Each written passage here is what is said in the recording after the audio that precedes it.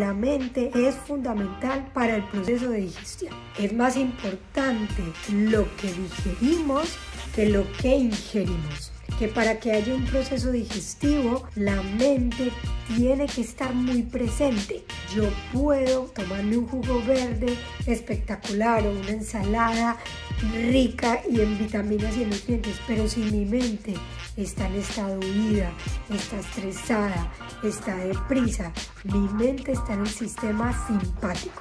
Y en el simpático el cerebro recibe una señal que le dice que tú vas a correr y que necesita mucha sangre bombeando en el corazón, mucha sangre en extremidades inferiores y superiores y que para poder llegar con tanta energía a esas partes, pues que lo primero que tiene que hacer es cerrar digestión. La mente es la que abre o cierra la digestión, no es la boca. Para digerir se necesitan los cinco sentidos. Primero, la vista. Mientras más colores tenga el plato, más saludable es. Si mi plato es arroz blanco y pollo amarillo, forget it, que tenga verdes, rojos, naranjas. Segundo, usar su paladar. ¿Cómo se hace la alimentación de un acto sagrado? Sin pantallas. Pues que el cerebro, donde pone la atención, pone la energía. Entonces, si yo estoy comiendo, pero estoy viendo algo en el teléfono, ¿dónde creen ustedes que va a poner la atención?